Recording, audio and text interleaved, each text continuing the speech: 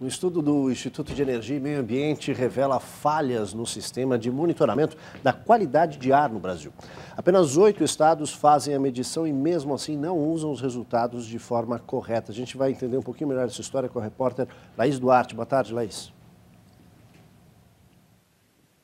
Boa tarde, Aldo. Boa tarde a todos. Nada menos que 15 estados brasileiros não têm nenhum dado e nenhum tipo de monitoramento público sobre a qualidade do ar. Entre eles estão Pernambuco e também o Ceará. Eu converso agora com o André Luiz Ferreira, que é diretor do Instituto de Energia e Meio Ambiente. Boa tarde. O que, que isso significa para as populações desses locais? Bom, significa que se você tem grandes aglomerações urbanas onde você não monitora a qualidade do ar, essa população você não tem condições de avaliar o risco que ela está submetida em termos de saúde pública.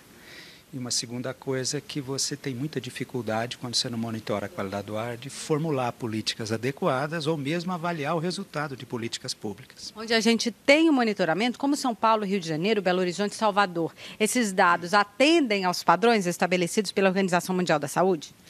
Não, na, maior das, na maioria das grandes cidades brasileiras, o, o que tem sido medido, no, na, os poluentes que têm sido medidos no ar não atendem às recomendações da OMS. Não.